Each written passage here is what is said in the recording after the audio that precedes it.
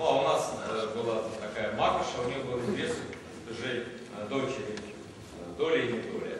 Ну, собственно, все то же самое. Я думаю, можно и Пушкина вспомнить.